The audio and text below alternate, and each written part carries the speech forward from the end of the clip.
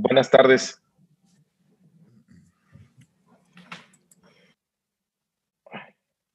Bueno, gracias por conectarse. Hola, buenas, tardes. a todos, a todos. Feliz domingo para todos y todas. Bueno, informarles sobre lo que ocurrió el jueves. Como ustedes se enteraron, se rompió el quórum en la votación en lo general en fideicomisos. Eh, en realidad fue por eh, las mismas condiciones eh, que estamos sesionando, donde tenemos un número importante de diputados que no asisten y también pues se regresaron a sus lugares de orígenes. Ya el jueves muy tarde se alargó mucho la primera discusión. ¿Qué marca el reglamento? Que tendremos que regresar el martes. Vamos a seguir con el mismo tema. Eh, yo confío en que tengamos los números, primero para hacer quórum y segundo para que se vote este tema de los eh, fideicomisos. Seguimos hablando con nuestros aliados de la coalición, del Partido de Trabajo, del Partido Encuentro Social, del Partido Verde, para que nos acompañen en esta iniciativa. Hemos estado aclarando que eh, se evite la confusión que lleva a pensar que la desaparición de fideicomisos necesariamente eh, trae como consecuencia la desaparición de algunos eh, apoyos. Aquellos fideicomisos que se dedican a dar apoyos eh, van a seguirse manteniendo esos apoyos, simplemente ya no se van a administrar a través de la figura del fideicomiso. Y aquellos, habrá otros donde sí los recursos se van a reintegrar a la tesorería de la federación para la atención y reorientación de esos eh, recursos para la atención de la salud, eh, que es donde ahorita urge destinar una mayor inversión. Eh, ahora, por ejemplo, está el caso de Tabasco, que mandamos un saludo a toda la gente de Tabasco, al gobernador también, por las inundaciones que se han registrado y se pone como ejemplo que no debería desaparecer el Fonden. En casos como este, una vez que ya no existe el fideicomiso del Fonden, se haría la declaratoria de emergencia y se atendería a través de la responsabilidad que tienen distintas secretarías, es decir, la Secretaría de Salud, pues atendería a través de la Guardia o la Secretaría de la Defensa Nacional, a través del Ejército, cuando se requiera la participación de estas dos instituciones. La Secretaría del Bienestar eh, acudirá a dar algunos apoyos, la SEDATU enfrentará temas de reconstrucción, en fin, y se va a atender de esta manera en conjunto con municipios y con entidades federativas como se hace hasta el momento. Entonces, bueno, vamos a seguir con la discusión de fideicomisos, son 109, son 68 mil millones de pesos y se deja la facultad para que Hacienda conduzca este proceso de extinción que será diferente con diferentes tiempos para cada fideicomiso. También recordarles que nos toca la comparecencia de la secretaria de Gobernación, la ministra Olga Sánchez Cordero, este martes también a las 4 eh, de la tarde. Es una comparecencia que está programada para comisiones y eh, el eh, el día de mañana en la Junta de Coordinación Política, yo voy a someter a los integrantes de esta Junta la posibilidad de que realicemos esta comparecencia por medios digitales, por vía eh, remota. Es una petición de la Secretaría de Gobernación que vamos a poner a consideración de la Junta de Coordinación Política para que pueda realizarse por estos medios. Y decirles también que para el miércoles, la sesión del miércoles, eh, buscaríamos que se aprobara la minuta que nos llegó del Senado de la República sobre las reformas constitucionales que hicimos al artículo 19, donde ampliamos el catálogo de delitos merecedores de prisión preventiva oficiosa. De tal manera que esas serían las principales actividades para esta semana en la Cámara de Diputados la comparecencia de la ministra Olga Sánchez Cordero, continuar con la discusión y votación de fideicomisos en lo general y en lo particular. Va a ser una sesión larga el martes porque hay más de 400 reservas. Y el miércoles aprobaríamos artículo 19, eh, que ahí es importante que la Comisión de Justicia eh, tenga quórum.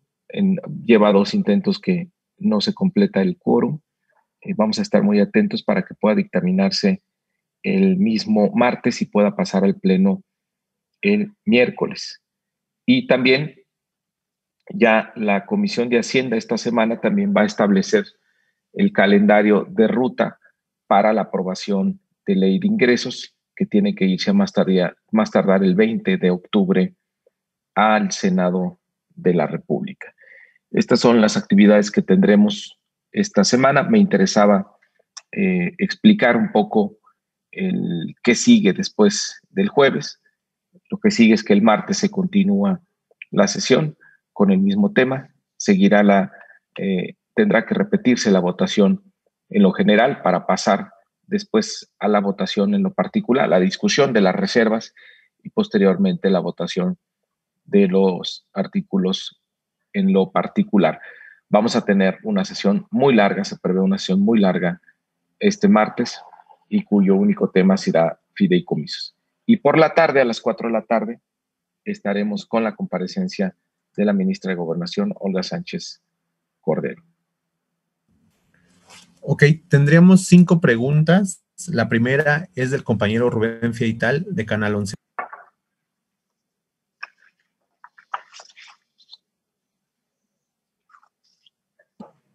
Buenos días, diputado. Diputado. Eh, Buenos días. Con todo respeto, ¿no le parece que fue un poco torpe la manera de negociar el tema de los fideicomisos?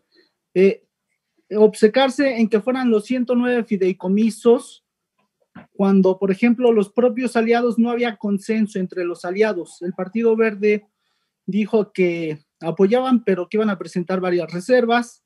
El PT dijo que estaba de acuerdo en la desaparición de 73, más no así, de 66 fideicomisos, entre ellos el Fonden, protección a, a personas, a víctimas, a defensores de derechos humanos, a periodistas y a deportistas, entre otros. Sin embargo, bueno, pues eh, se, se, usted confió en que iba a poder con la planadora de la mayoría y de sus aliados, lo iba a poder sacar adelante. ¿Fue exceso de confianza acaso? ¿Mantendrá para el próximo martes las, los 109 fideicomisos? Eso por una parte. Por otra parte, ese mismo día, el jueves, eh, el diputado Gerardo Fernández Noroña dijo en tribuna que no siempre se apoya al presidente diciéndole que sí, que hay veces que se le debe decir que no y que incluso eso es para hacerlo reflexionar y que se deben defender las posturas con valor. ¿Usted dio acuse de recibo a este mensaje del diputado Gerardo Fernández Noroña? Eso sería todo, diputado. Gracias. Bueno, la, iniciativa de fideicomisos eh, proviene de un largo análisis del gobierno de la República de, de, qué hacer con estos instrumentos. No es una improvisación, no es una iniciativa que se nos ocurrió el día de ayer, viene del análisis que ha hecho el gobierno en esta estrategia que tiene de austeridad, de estar seguro el del destino de cada uno de los recursos que tiene de la, eh, del pueblo de México. Está también como parte de esta estrategia, es fundamental, en cómo se está enfrentando la crisis eh, o el impacto económico de la pandemia. Es la crisis más severa desde 1932 en la economía global, en todo el mundo. Los gobiernos neoliberales priorizaban cómo completar su caja, cómo completar su gasto y para ellos recurrían a lo que fuera, a aumentar impuestos, a endeudar al país o imponer gasolinazos. Ahora la lógica es distinta, es proteger a la población. Entonces, no se recurre a ese tres tipos de medidas para completar la caja del gobierno. Pero si la economía está cayendo, entonces ¿cómo completas la caja? ¿Cómo completas el gasto? Ahí es donde entra la austeridad republicana, además del extraordinario ejercicio de eficiencia recaudatoria que ha hecho el gobierno. La austeridad, y dentro de la austeridad vale la pena revisar todas esas bolsitas que se fueron formando a lo largo de los años que ahora son los fideicomisos. Entonces, eh, estos 109 eh, fideicomisos vienen de ese diagnóstico. Y eh, no es que unos se vayan y otros no, se van a ir todos, esa es nuestra propuesta. Vamos a ver si tenemos los votos para que avance, yo estoy seguro que sí. Eh, a veces no tenemos la información completa y nos dejamos ir por un debate mal informado, donde, por ejemplo, se piensa que la desaparición del fideicomiso que administra los apoyos a deportistas significa que se van a quedar los deportistas sin apoyos. Es absolutamente falso. Los apoyos van a seguir estando ahí. Eh, en los beneficiarios ni se van a enterar que ahora el gobierno administrará de manera diferente eh, esos recursos. Entonces, sí hay eh, fondo en lo que se está planteando, no es una improvisación, tampoco es un capricho, capricho del presidente, es viene en una lógica de austeridad severa, donde haya mayor transparencia y se elimine cualquier posibilidad de corrupción.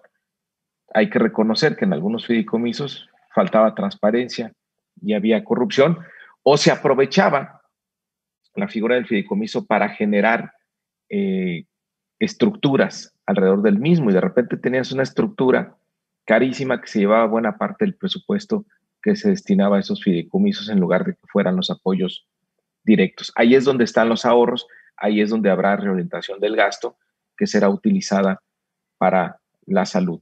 La disyuntiva aquí es tener los recursos suficientes para la atención de la salud a partir de la austeridad o de aplicarle al pueblo de México gasolinazos, aumento de impuestos o deuda. Hay que tener el panorama completo para tener una eh, una opinión eh, más razonada.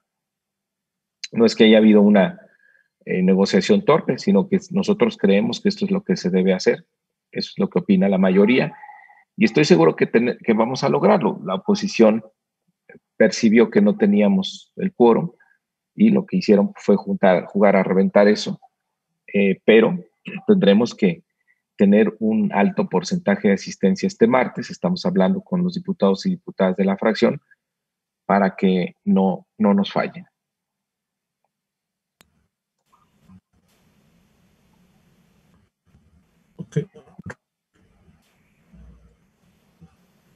Sobre la, el mensaje que dio en tribuna el diputado Gerardo Fernández Noroña, dio acuse de recibo, lo escuchó, eso que ah, dijo que siempre hay que decirle que sí al presidente. Bueno, lo respeto al compañero Noroña y qué bueno que da su postura pública. Yo pienso lo contrario. Yo pienso que este es un momento de, definiciones en nuestro país y bastantes enemigos tienen la, la transformación para que nosotros estemos flaqueando en decisiones que son trascendentales para el pueblo de México. Gracias. La segunda pregunta de Margarita Nicolás de Cadena Raza.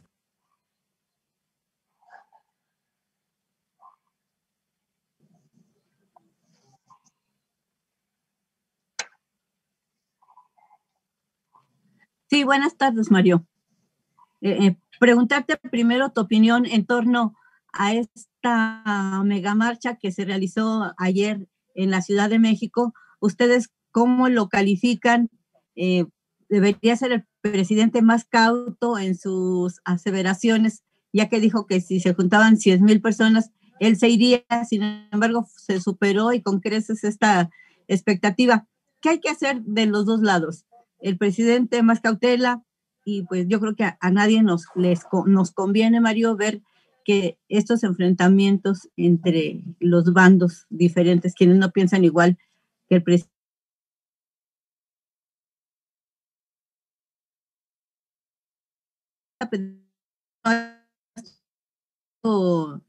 de 125 mil pesos para promoverse. También, si me puede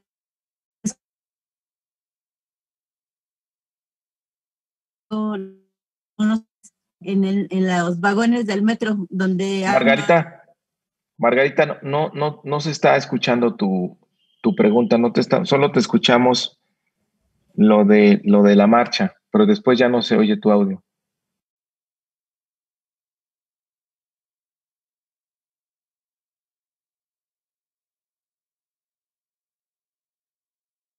Bueno, si quieren, eh, comento lo. Mira, vivimos en una democracia con absoluta libertad. Ahí está la prueba de ello es que se pueden manifestar eh, libremente los opositores al gobierno.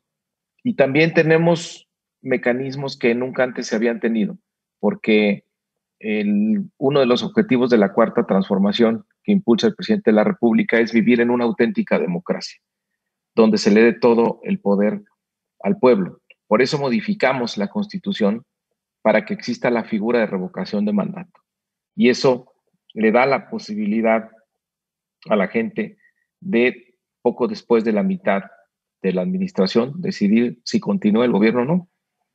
Solamente un presidente con la convicción democrática que tiene Andrés Manuel López Obrador se atreve a pedir una revocación de mandato cuando él ya ha sido electo por seis años pero él no lo hace pensando en su administración, sino lo que va a generar esto para el futuro de nuestro país, donde los mandatarios necesariamente van a tener que estar del lado del pueblo, con el apoyo del pueblo si quieren terminar su gestión.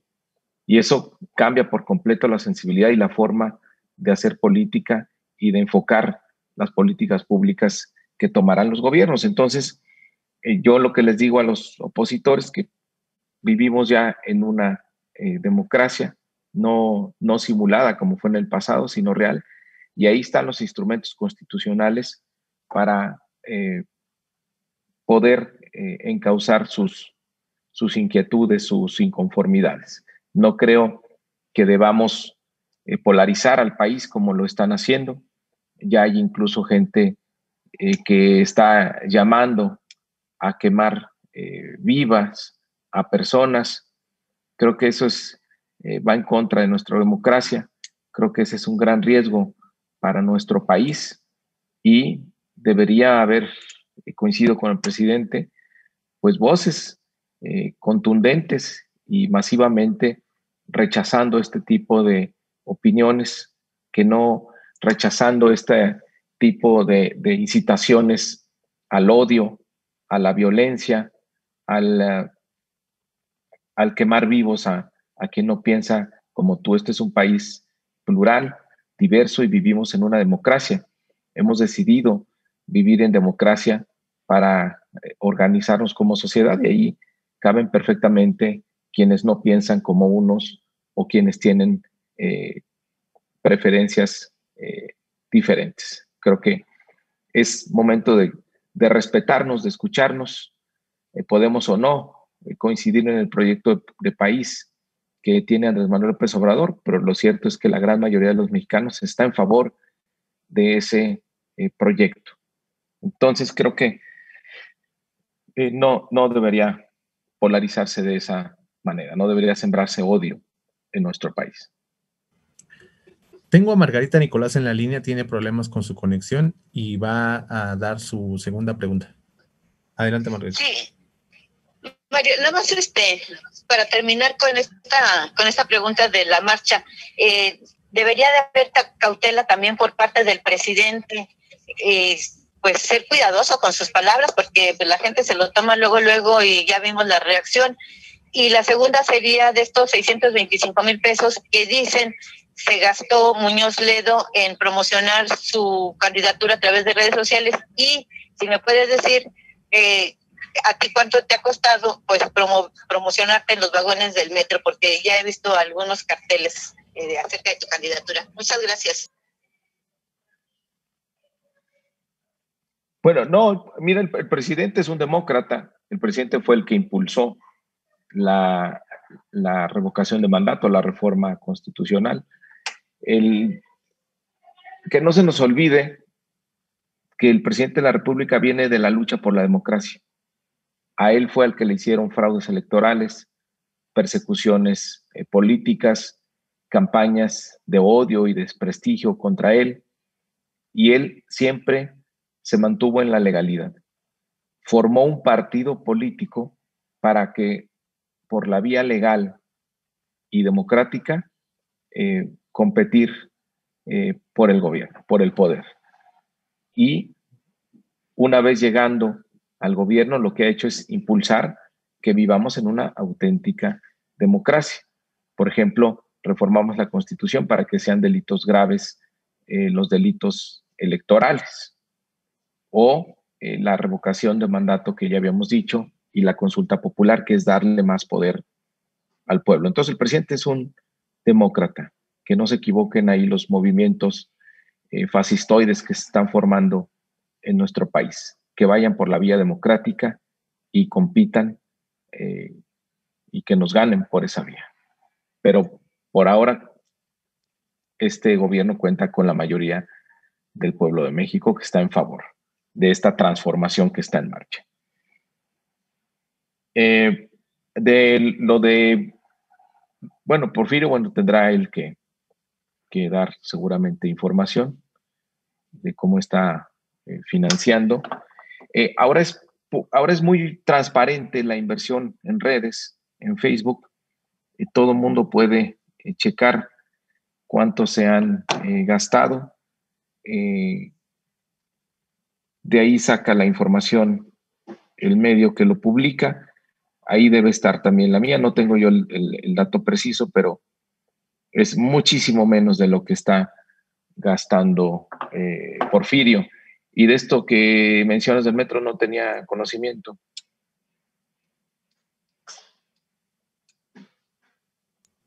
Seguiría Teresa Moreno del Universal. Muchas gracias. Buenas tardes a todos los compañeros. Buenas tardes, diputado. Pues me gustaría preguntarle en primera instancia cómo va hasta el momento, pues la encuesta del partido cierra ya el 8 de octubre. En este sentido, preguntarle si se van a respetar los resultados eh, que se den, sean cual sea, sean cuales estos sean, o si se pues pensaría en llegar en algún momento a impugnaciones o llegar a tribunales. Em, también, eh, pues bueno, el presidente acusa o regañó a los candidatos eh, al decir que se enfrascaron en pleitos, les pidió que dejaran de ser egoístas, señala que hay mucho pueblo para muy poco dirigente. ¿Cómo interpreta para usted mismo este llamado eh, o este, este regaño, como se le ha dicho en la prensa? Y bueno, me queda una duda técnica. Después de la desaparición de los fideicomisos, si es que lo consiguen hacer así como, como, como se ha planteado, desde la bancada Morena, e, estos recursos en el presupuesto se reintegrarán a los estados para que los estados se hagan cargo pues de situaciones como el Fonden, atención a víctimas, protección a periodistas, inclusive el apoyo a las universidades y centros de investigación que por ahí quedan, que, que por ahí quedan, quedan un tanto, un tanto desprotegidos, por favor, diputado.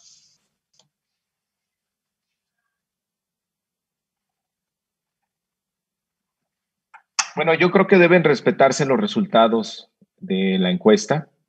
Yo creo que también debe dejarse ya eh, el camino libre a la encuesta, que el, pueblo de, que el pueblo de México decida, que ya no le pongan piedritas en el camino a la, encuesta. Morena es no es de nadie, Morena es del pueblo de México, que la gente decida. Pues yo coincido con, con el presidente de la República. Hay mucho pueblo para tampoco eh, dirigente.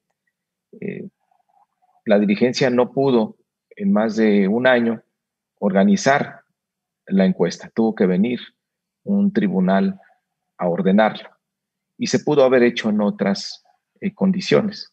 Sin embargo, bueno, la dirigencia no compartía, hay que decirlo tal cual, no compartía la opinión del presidente de la República de que este método debía utilizarse para renovar a la nueva dirigencia del partido.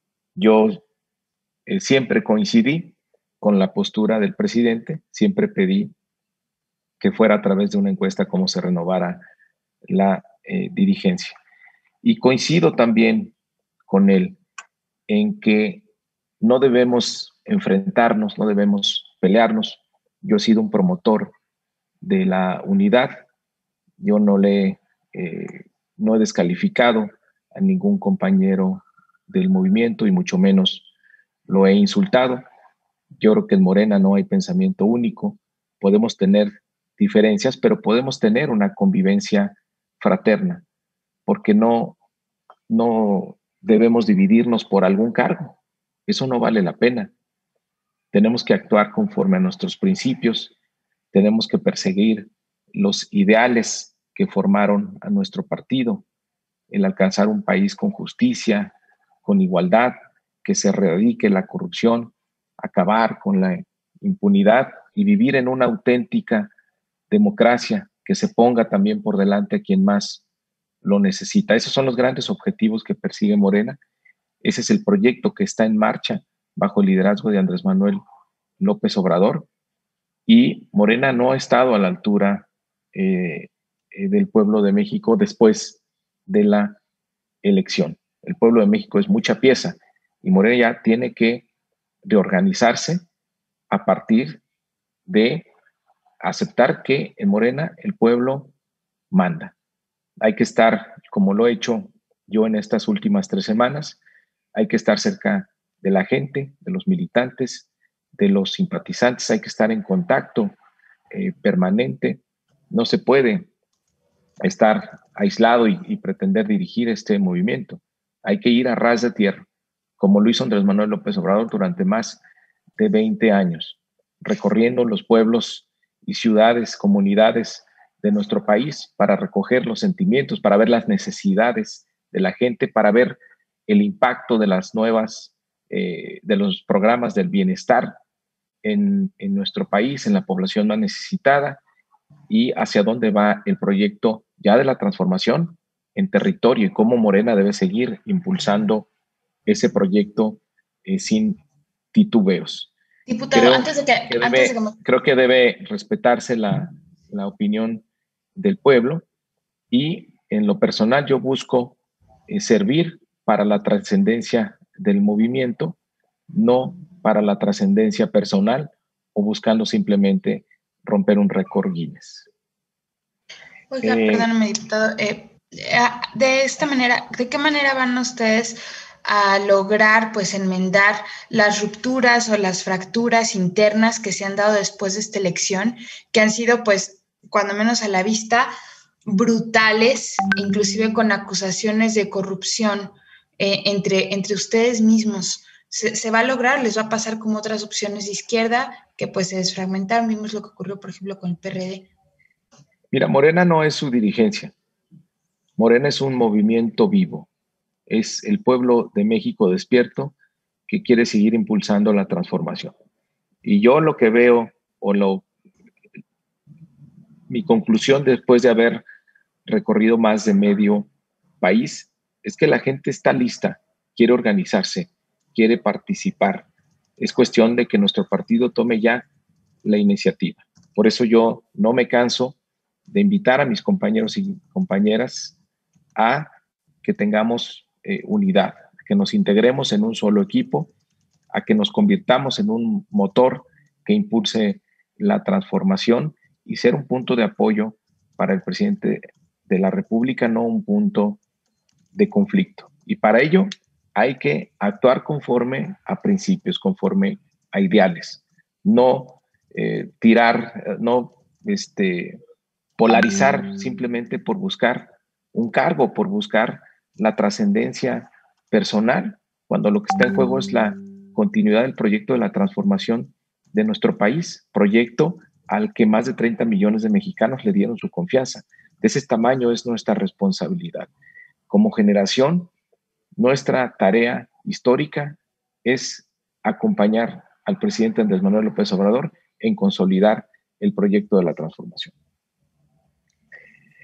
Y respecto de los eh, fideicomisos, algunos fideicomisos van a desaparecer y los recursos van a ir a la tesorería para que ellos los reoriente a la, a la atención de la salud de las y los mexicanos.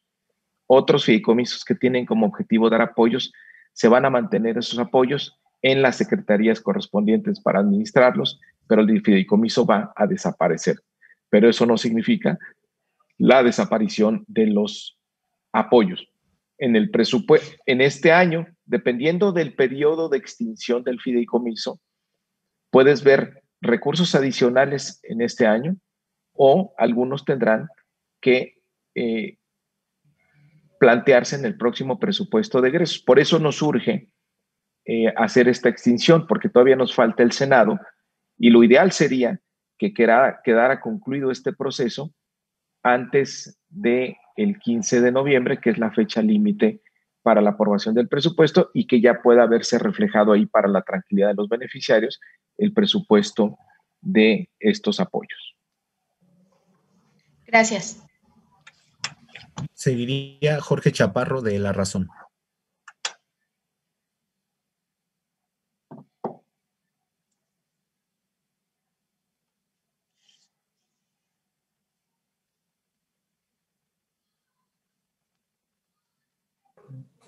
Que active su micrófono, por favor.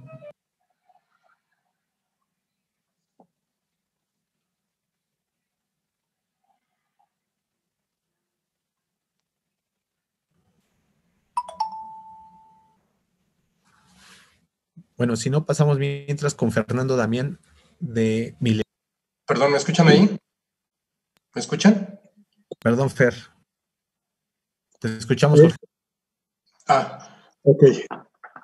Perdón, Fer, eh, rapidísimo. Eh, diputado, hablabas de, corrupción, hablabas de, eh, pues, esta robo, saqueo a la nación, en fin, a través de los fideicomisos. Y luego nos dices que había recursos en esas bolsitas los recursos que eh, se generaron a lo largo del tiempo y que fueron a parar a diversos fideicomisos que el gobierno actual se gastó, Dios sabe en qué, porque no han explicado. Eh, eso, ese dinero se lo acabaron, palabras del secretario de Hacienda en, una reunión con ustedes, se acabaron los ahorros del, Estado mexicano. Preguntarte cómo puede ustedes garantizar que habrá estos servicios cuando pues no, no explican dónde fueron a parar esos recursos y se, quieren acabar 68 mil millones más. La segunda pregunta tendría que ver, en relación con esto, tendría que ser, ¿qué pasa con estos fideicomisos, por ejemplo, el, de desastres naturales? ¿Cómo se va a atender? Dices que a través de las secretarías que harían un concurso, dependiendo de las funciones que tenga cada una de ellas. Es decir, si la Secretaría de Educación debe entrar a recuperar escuelas, debe entrar a eh, crear eh, eh, hospitales o lo que sea necesario a través de la Secretaría de Salud.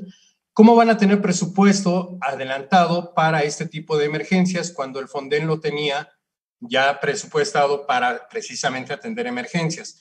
¿Cómo se va a destinar en los presupuestos que haya recursos de las dependencias para atender estas emergencias cuando se presenten, si es que se presentan y si no se presentan, qué va a pasar con esos recursos? ¿Serán eh, un bulto ahí en las secretarías. ¿Qué va a pasar con eso eh, de manera específica?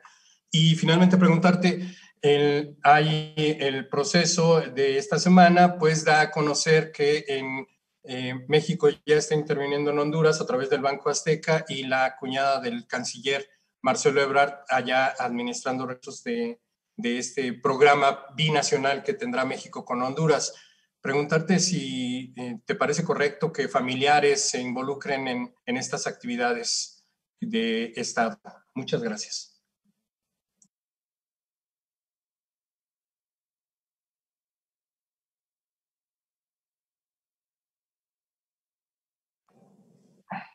Bueno, nada más eh, precisar, porque lo que tú has dicho es absolutamente falso. El gobierno no tenía guardaditos. Hay en la ley eh, fondos de estabilización de los ingresos petroleros y fondo de la estabilización de ingresos de las entidades federativas, que está previsto por ley cuando los puedes utilizar.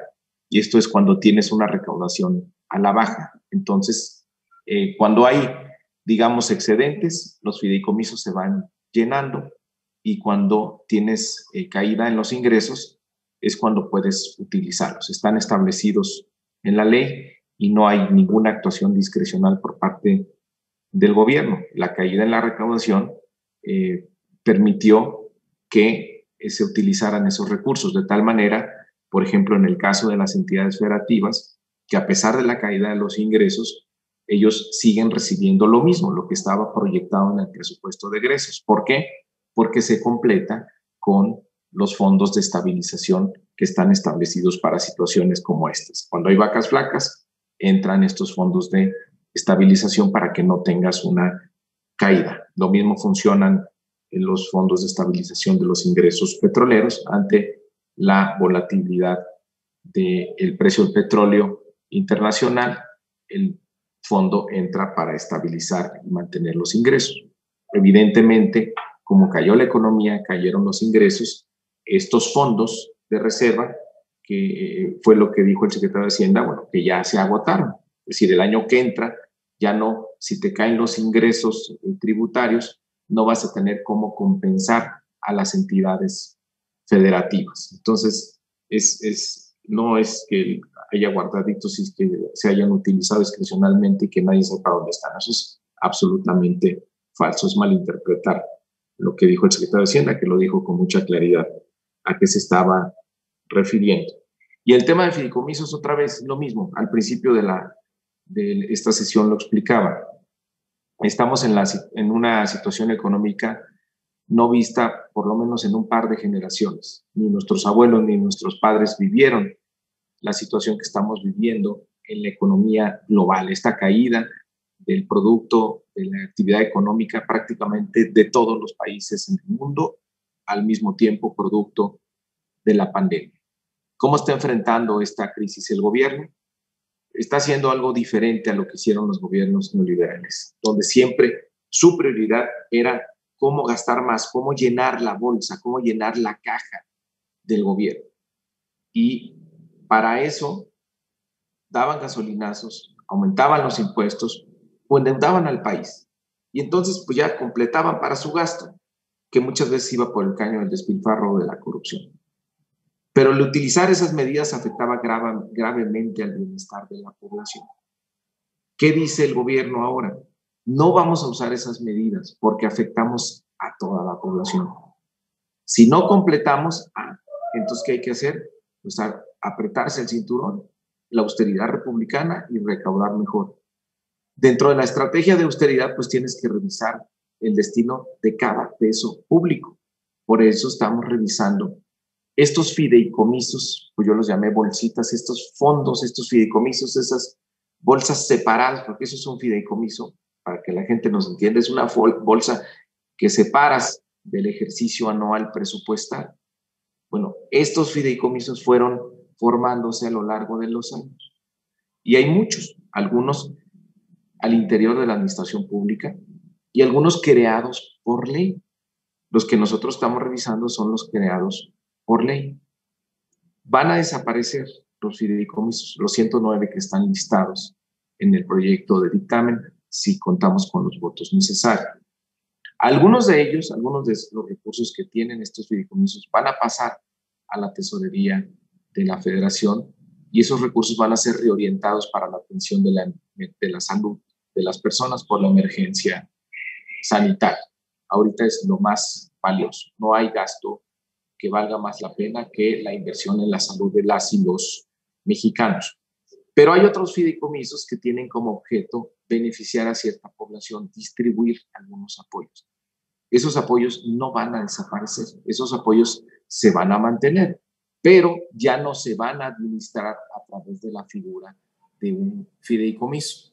Por eso digo que incluso aquellos beneficiarios que reciben apoyos ni se van a enterar de que eh, hay cambio en cómo el gobierno administra esos recursos. Lo que vas a ganar al final de cuentas con esta reforma es que vas a, tener un manejo más transparente de los recursos, sin corrupción, van a llegar los apoyos de manera directa a los beneficiarios, vas a poder reorientar parte de esos recursos a la atención de la salud y vas a evitar endeudar al país, imponer gasolinazos o aumentar los impuestos. Eso es lo que persigue esta estrategia. Y respecto de lo eh, que comentas de Marcelo Obrador, bueno, hay que eh, pedirle información a él. Fernando Damián de Milenio, por favor.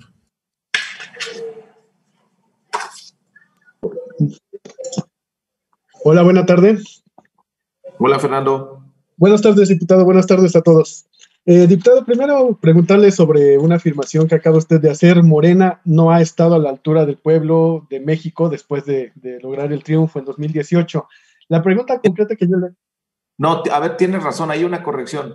La dirigencia de Morena no ha estado a la altura. Eh, pero nos referimos a Jade Cole. Era, un poco la pregunta, el sentido de la pregunta que le pues quería hacer. ¿Quién es el responsable de que no esté a la altura del partido? La dirigencia. La dirigencia no es una persona, son todos los órganos de, dirección del partido. Correcto. Bueno, la, la, siguiente pregunta que yo le quiero hacer es, en el caso de la contienda interna en la que usted está eh, compitiendo y otros personajes por la dirigencia del partido, el encono sin duda se ha incrementado eh, conforme ha avanzado el proceso. ¿Usted ve un escenario de ruptura, un escenario de fractura eh, al término de, cuando se dan a conocer los resultados de la encuesta?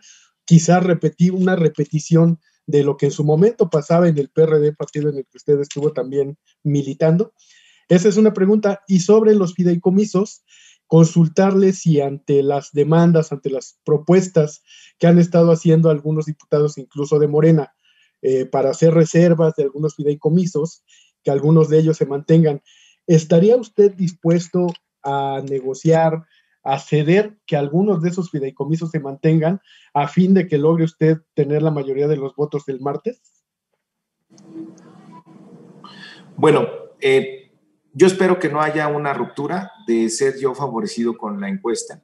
Yo voy a convocar a la unidad, al respeto entre todos los integrantes del movimiento.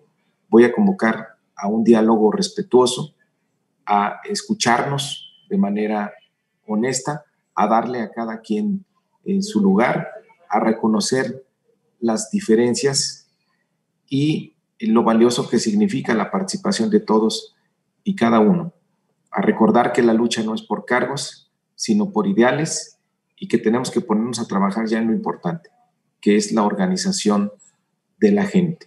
Es lo que nos enseñó Andrés Manuel López Obrador durante más de 20 años, porque la fuerza de Morena no son sus dirigentes, la fuerza Morena es el pueblo organizado.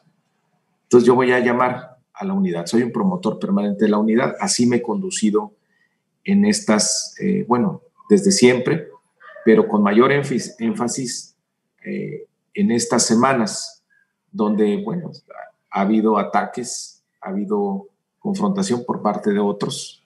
Yo no soy un provocador, yo soy un conciliador y yo no voy a eh, nunca a descalificar a compañeros que sean parte de este eh, movimiento. los fideicomisos Mira, eh, eh, decía hace rato que no es una ocurrencia esta iniciativa, es un proceso largo de análisis por parte del gobierno de qué debe hacerse con estos fideicomisos. Por eso tenemos esta iniciativa, esta eh, propuesta. No se trata de negociar unos sí, otros no. Estamos ante una coyuntura única en el país donde nos urge tener recursos para la atención de la salud de las y los mexicanos. Yo entiendo que pueda haber ciertos destinos nobles que la gente, defienda, pero en estos momentos no hay nada más importante que la salud. Y reitero, aquellos, aquellos eh, fideicomisos que tienen como tarea distribuir recursos a cierto grupo de beneficiarios, estos beneficiarios no se van a ver afectados, sus recursos van a seguir llegando, simplemente, simplemente perdón, que el gobierno va a administrar de manera diferente esos recursos, pero los apoyos seguirán eh, llegando. Yo creo que tenemos los votos suficientes para que transite la iniciativa en sus términos, el dictamen en sus términos. El jueves lo que ocurrió fue una falta eh, de quórum, ya por ser una sesión eh, muy larga, pero espero que nos puedan acompañar la gran mayoría de los diputados, inclusive nuestros aliados. Habría una última pregunta de Evangelina Hernández de W Radio y con esa cerraríamos. Gracias, buenas tardes. Buenas tardes, diputado. Buenas tardes. Eh, mi primera pregunta es, leo un tuit de usted del 21 de mayo diciendo que Fidecine no desaparece. Eh, ¿les, ¿Le prometió usted a los cineastas que desaparecería o no? Sí, le prometimos que no iba a eh, desaparecer porque en aquel momento analizamos que era un buen instrumento el Fidecine. Pero han, ocurrido varias cosas desde aquella eh, reunión.